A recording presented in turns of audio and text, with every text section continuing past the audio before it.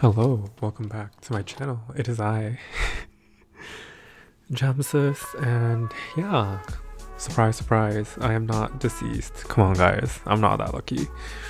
But yeah, we'll be back at it again with a new video, I guess. We're just playing. It's still in preseason, you know. Oh no, no, it's not preseason. We're playing in the regular season. But as you know, Epic 7's been in somewhat of a drought lately, so we're just gonna be doing mains mode RTA I guess but just seeing how our gear lines up with other people's um, my opponent rudely banned Conqueror Lilias here in the first game so I'm just going in for some interesting text. they're a bad person because they pick Lua so I feel zero remorse in picking such aggressive options against them um, I pick Amid just because Amid allows me to play more aggressively, and Adin kind of discourages a lot of aggressive play outside of like, you know, like Bryce area and hand guy, not hand guy, Edward. But my opponent looks like they want to take back, or not take back, they just want to like tank down against my aggression, which is very understandable. So I decided to pick DJB just because DJB is good into SCROL and Stene because my opponent has like poor reach options and that's why I like picking Stene and Adin together is because a lot of reach for Stene is not uncounterable except for Landy and a few other select units so they kind of like protect each other especially since people try to not hit Adin until the end if they don't have like good answers to her and Stene kind of cock blocks that by being invisible unless she is the last person. And the invincibility is nice for Adin, but like whatever, yeah. I'm picking double Soul Weaver, so technically I'm playing standard, right? But as I said, my opponent picks Politis, which is like pretty common into Amid, and they pick like the one reach unit that is uncounterable in Landy. Um, I pick Bryce Braixer here just because Bryce Braixer like hard counters like half his team. I'm pretty confident that he's gonna ban Braixeria, which means I have to ban um, Landy here because my team also has no reach for Landy in Guiding Light, which is like boo. So yeah, it all works out. We both ban last pick, which is what's supposed to happen if you draft well. And surprisingly, my Amid outspeeds Lua. My DJB outspeeds Lua. So I guess it's like a higher effectiveness Lua maybe. But we shall see. Um, I press my buttons here in spite of Politis. Um, this is one of the reasons why Politis is not great into Adin because a lot of her skills are AoE and will push Adin up if they miss. I wasn't trying to emote my opponent, I was just trying to see where the CR bar was. I just like misclicked because of Boomer abilities. We do push up Adin here. We don't get a crit damage buff, which kind of sucks and I opt to actually not press my cleanse yet and just wait for basically my opponent to press S3 with like Airwell or whatever. Politis is about to go, but I'm like hoping here that Politis misses and you can get some like good chip damage on my opponent with an Adin S2. But we shall see because my Adin is kind of sussy and she really likes to not dodge a lot of the time. And what do you know? Adin's like, I'm bored, and she gets hit. So she's basically dead at this point. I'm pretty sure even an unmitigated Karina, not undefense buffed Karina S3 will be able to kill this Adin off at this range. So that's not great, but do have some things going for us. Uh, my opponent lacks a lot of reach for my Stene at this point, and they already procced Politis S2 passive, so there's not much threatening us here. Um, my DJB luckily does resist everything. Uh, I think throwing the Scarewall S3 onto him was quite ambitious, but you know, again, I'm not gonna complain about it. My opponent surprisingly does not opt to go for the S3 here to safely finish off my Adin without a counter, but I guess through all the debuffs, it wasn't gonna do much anyway. Like, she even fails to break the shield on everybody, which is quite pathetic. But, yeah. again. So we're just waiting for Stene to kind of solo his team down. Um, this match is going to be decided on who kills who faster. If I can kill Politis before Politis S2 comes up, or before Politis can kill my Stene through the AoE attacks, we're pretty good. But luckily through the hit chance down from DJBS2, we're able to like tank everything. And we just kind of cleanse everything off. And I think this game is pretty much in the bag the second that Karina and Politis die because there's no way in hell that um, Lua and what's her face? Karina can actually kill. Not Lua and Scarewall can actually kill Stene behind like two Soul Weavers. So we do finish off Karina here, which is nice because she didn't get her S3 splash, so we're even safer than before. And all we have to do is kind of just like keep S1ing into this Politis. And I think that's pretty much it. Uh, we do get a lucky stun here, which is like justice. But it, it's looking pretty doomed for my opponent, I'm not gonna lie. I think even Lua outspeeding wouldn't have changed much because all that would have meant is that I would have pressed my DJB buttons instead of holding them for the first turn. So yeah, that's pretty much it. But it's a pretty clean. I say clean, but like we've been stuck on S1 this Politis for like two frenzy rounds or whatever. Like not exactly. It's, it is hyperbole, but I commend my opponent for trying to stick it out. But they go for the Lua S3 again and my DJB does resist it again, I think. So that's that's quite tragic. But my opponent does decide to forfeit out of that one, which is quite understandable. But moving on to the next match. And yeah, oh yeah, this is the part of the video where I have to show myself. So if you like my content and would like to support me, um, please like and subscribe. Join my Discord for like updates and yeah, a, new update is I, I can only upload once a week for the foreseeable future due to some personal issues that kind of eat up my free time, but I am working to get back on it and start streaming. So like that is a goal for this year. But our opponent in this match is Geomar, Gyomar, Gyomar.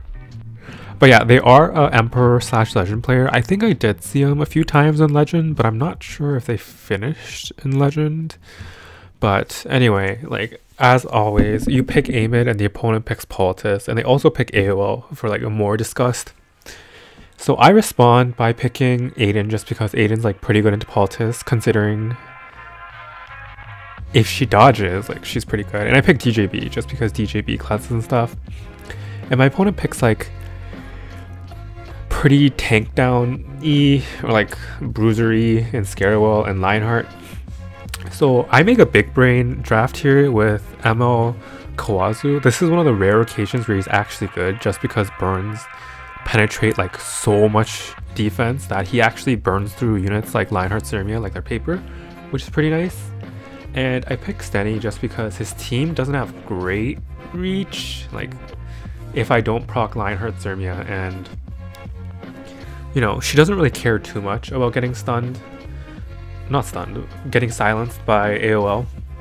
And they last pick Landy. I'm pretty much forced to ban this Landy, as again, my units do not have any reach of any kind. And my opponent recognizes that ML Kawazu is just really good into his draft. So he bans it, understandably.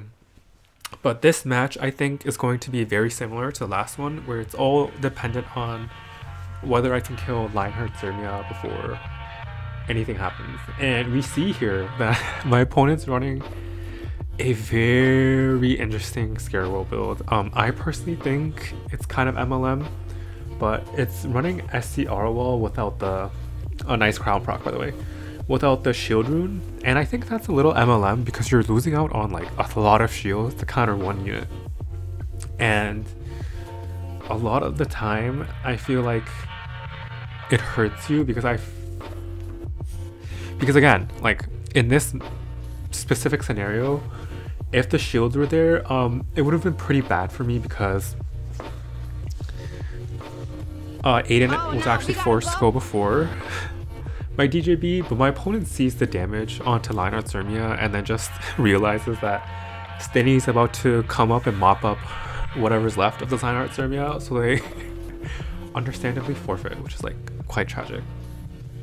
But yeah, moving on to the next match, we're going to go up against someone with a Japanese name, which I cannot read because I I'm not a weeb. And they are a bad person who pick Lua first pick. So obviously we have to punish that by picking our faster Conquer Lilias. And then my opponent right away goes into that Lionheart hand guy tech, which is like kind of gross, but whatever. This is this is my comfort zone of bullying slower players. You pick Stene because again, like she doesn't really care about getting reset up by Lua. Well, she doesn't care that much. And they I also pick Amid. I normally would have picked Flidica here, but Flidica was unfortunately banned by my opponent, Oh lord. which was kind of tragic. Again. And here we go. You pick Amid, they pick Politis. It's just like the rules of life. But anyway, um, it's kind of a 50-50 on whether to ban this Lua or Senya, just because my team doesn't have great answers into Senya.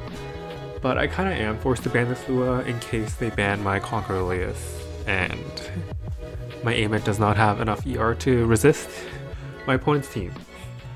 So that's kind of an interesting thing that happened here. We open up with Conquer Lilias. I was thinking of actually pressing my buttons and soul burning into hand guy here just so I can get like some key debuffs to stick the first time around. Politis is able to go, but like again, I largely don't really care at this current moment just because if Adin procs, it's not going to be great, but I think I have enough damage to kill her through with the Adin S3 and Stene S3, or I'm like hoping she does. And we do proc everyone, so it's going to be a very, very, very, very difficult situation. The unbuffables also mean that I lose a lot of value on the aim at S2 and not get skill nullifier, which kind of sucks. And then I have to read the skill to make sure that I was actually cleansing on Steady. But she does, which is like pretty nice. And so we kind of have to deal with the threats as they come. Politis is pretty low because she just spent everything. And Lionheart is at the top of the list, but like my opponent has no mitigation, so this Adin S3 actually does a lot more damage than I thought it would. And we just go for the raw dog Steady S3 into Lionheart because there's no point in what's it called? There's no point in soul burning because I want to get value from the swift attack. And we find out here that this Senya is actually not a ER Senya, which is pretty good for me, which means that like maybe down the line we can get some lucky poisons or unbuffables to really help out with dam- damaging the Senya, but you are seeing right now why I should have banned Senya at the start. Because my DPSs are all very squishy, and this reflect damage on top of the artifact damage is actually killing my DPS is really, really fast.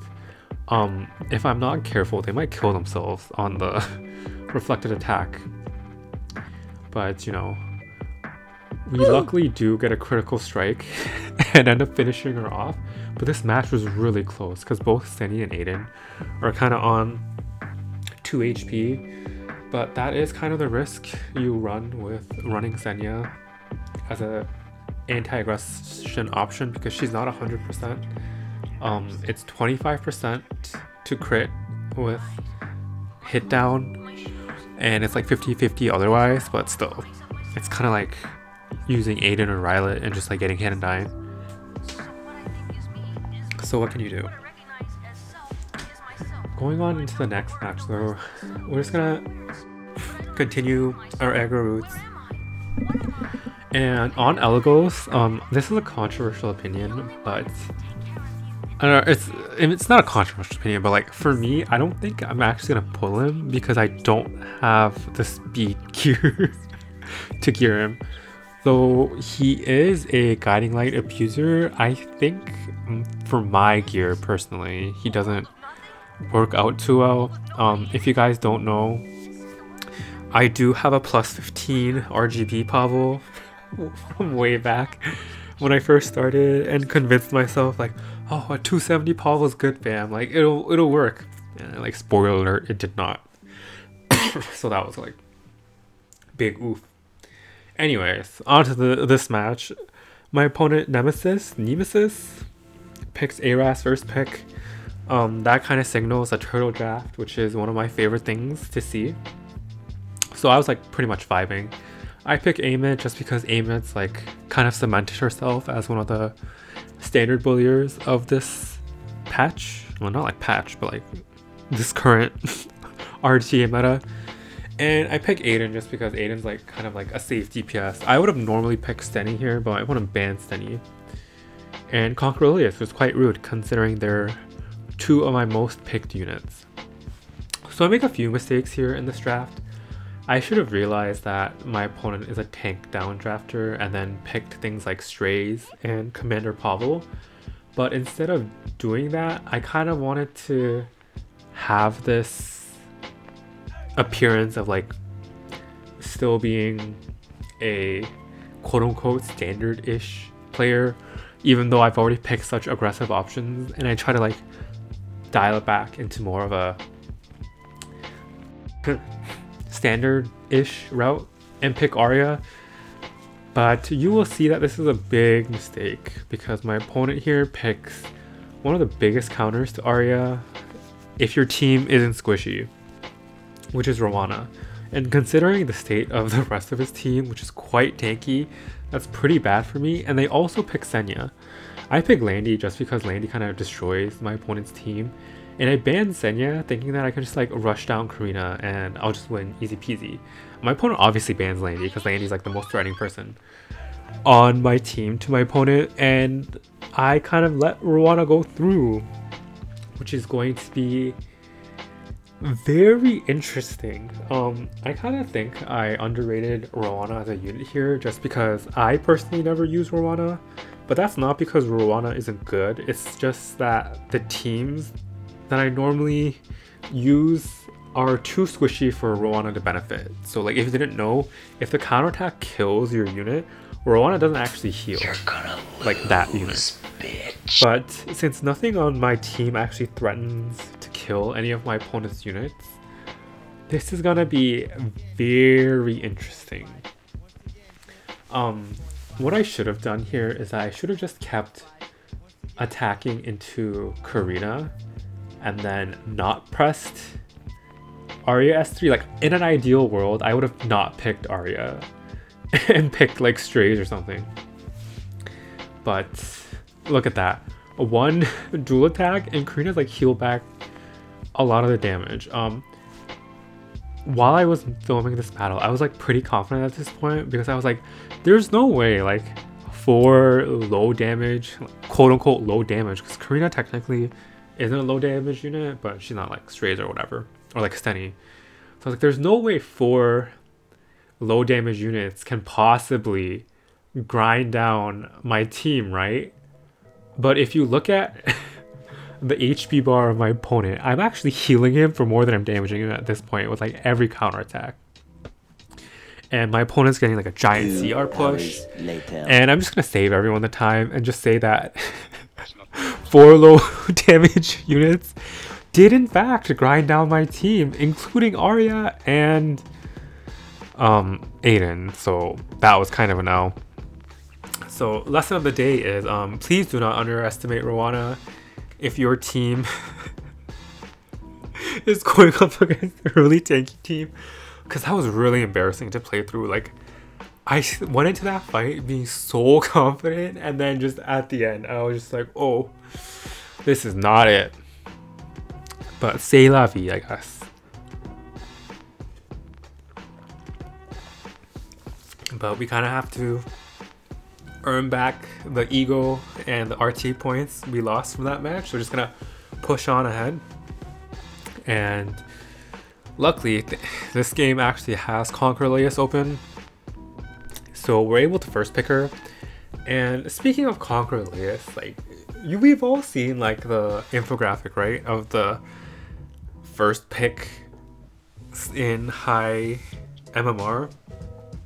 And she's quite quite quite the balance unit because currently when I play RTA or I play or I watch some of my guildies play RTA, like Conquer Lilias is like first picked or banned in like 90% of the matches, which is quite the interesting situation.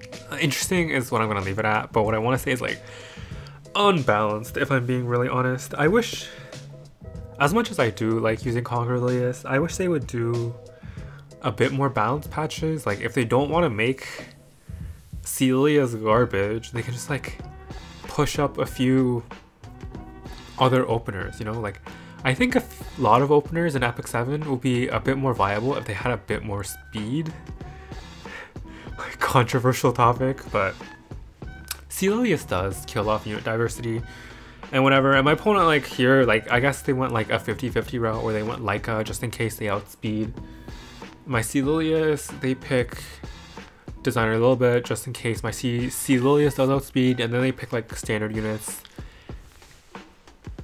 where I just respond by picking Adin just because Adin kind of destroys designer Lilibet, and Sylvan Sage Vivian destroys Stene, and Landy also similarly destroys Stene here. And my opponent last picks um, Lionheart Cermia, but I think that's kind of a mistake. I had a pretty good feeling that they were either going to ban Celius or DJB, so I was free to ban. No, I had a feeling that they were going to ban um, DJB just because they picked so many anti-Celius options. But you will see that my mind is like galaxy brain. I obviously don't want to push buttons just because designer Lilibet can push and reset stuff, which is kind of bad. So I kind of S1 in Celius and drag into Destina. We actually pull Landy, which isn't the best just because now that she has enough fighting spirit for S3. Like what I wanted to do was double S3 on Landy, but it's fine.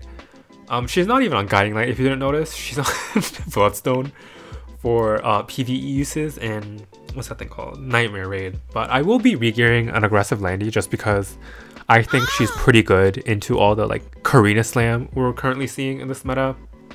But Stene blows up here, RIP, Destina blows up here, RIP. All that's left is Designer bit and Lionheart Cermia, but it's not even great just because um, everyone is behind invulnerability and if you didn't know, uh, Lionheart Cermia actually does not beat Sylvan Sage Vivian in a 1v1 or like 2v4 I guess currently. We even get the provoke off onto Lionheart Cermia just so that when she does decide to S3, she even won't be able to S3 with a defense buff. And if you did not know, defense scaling units do zero damage without a defense buff. So this match is pretty much over at this point just because an aggressive Landy allowed me to lap my opponent and just nuke them down. So I think that is something that I will be rebuilding this season, like a 240 Landy with like Omega damage. So keep an eye out for that. Um, I am bottling Guiding Light like it's nobody's business because it's the meta. And whoo, Guiding Light, toggles, Ancient Book, and like, what's that thing called? Um, the new Emo Leica unit being a mage also means that I'm gonna need another book probably. So that's pretty exciting. And oof. I'm hoping though that she is a nice and neutral-ish DPS just because, you know, she's element neutral, she can hold book, so if she doesn't like immediately die in the first turn, she can have a lot of value, which I think is like pretty cool. But yeah, my opponent first picks Conquer Lilias here, quite rude. I respond by picking DJB and Adin. Just because it's a pretty safe route. And I'll elaborate on why I think um, DJB and Adin are so nice. Because DJB kind of deters a lot of these aggressive follow-ups. Like so DJB is like pretty good into Ran. He's pretty good into Peira and other debuffing openers. And Adin similarly kind of threatens like Ran, but also like the follow up DPSs. Like, so the only bridge that actually works with C Lilias is Eda, and Eda into Adin's not the best matchup just because of the dodge and stuff. My opponent picks Stene and Zahhak as a counter to my what's the, what's the phrase? Adin, and I respond by picking Assassin Cidd just because I'm pretty sure my Assassin Cidd's at a faster speed tier than Zahhak just because he has like 10 more base speed, and I can always ban Stene if I have to. Not Stene, Celius. And I pick Sylvan Sage Vivian as a safe DPS pick because you know she hits Stene and she's like survivable. Uh, I last picked Kayron here. Like I wasn't really speed contesting with DJB. Like let's be honest. I banned Conqueror Lilias on the off chance that they let my Kayron through. My Kayron can easily solo my opponent's team, but they do decide to ban out the Kayron, which is like quite understandable. And I kind of had a feeling that Adin would not get a Assassin Cidd would not get a turn this match and just gave him the team imprint for attack. And we head off into this match. My Sylvan Sage Vivian is actually not on Chatty, she's on Book, which may influence the outcome of this match. Um, my opponent emotes me here on outspeeding me, but like, come on, dude, you have like 26 speed on my Acidd. Like, of course you're going to outspeed. But I was thinking that maybe he would go into Adin just because the rest of his team doesn't deal too well with Adin, but that's a big mistake because um, Assassin Cidd has a built-in Sashes, so we're actually able to cut this Zahhak. And since we cut, we soul burn just because of the crit rate, and we're able to get rid of this Weedrid, which is pretty good. And since we took the souls away from this Stene, um, they actually cannot soul burn into my DJB anymore, which is pretty good. I make the mistake here of not pressing S2 because it would have been pretty nice because it prevents um, Wanderer Silk from being able to S2 on the following turn without a buff, but I think I just got too excited by like potentially counter cleaving my opponent with the Acidd passive, which is something you rarely see. But holy shit, that thing does so much damage with the S3 um, so Hawk's able to go again. I think they're going to finish off my DJB here. Or they can try and do as much damage to Sylvan Sage Vivian. But no, they do end up killing off my DJB, rest in peace. So we're able to just go for the Sylvan Sage Vivian S3, heal up a pretty decent amount, and chunk my opponent for a lot of health. And since Watcher Wanderer Silk no longer has a buff, we're able to kill off this Zahhak and go back into stealth. Though it doesn't matter too much just because Stene is about to kill us out of stealth. Um, I'm not too sure why I tried to make a decision to, or like I was thinking too long because like it didn't really matter. I think, but yeah, we're about to flush the toilet with Sylvan Sage Vivian. My opponent does strip off the crit damage buff, but at this point, it doesn't really matter. We're able to flush down Wanderer Silk and Stene into the gutter for the W, into a very interesting countercleave that I didn't know was possible. But yeah, that is it for today's video. Um, real talk segment. I'm just having a few troubles in my personal life where I kind of just have to find work and move out as soon as possible. So I hope you can understand my less frequent uploads in this time. But on the upside, when I do move out, I do plan on like making content a lot more and like starting streaming eventually. So like that's something to look forward to. But yeah, I really do appreciate the people that like like comment, like talk in my Discord or like just like watch my videos because it's just really nice to have be to be like affirmed that like you know you do stuff and people like it. but as always, I'll catch you next time.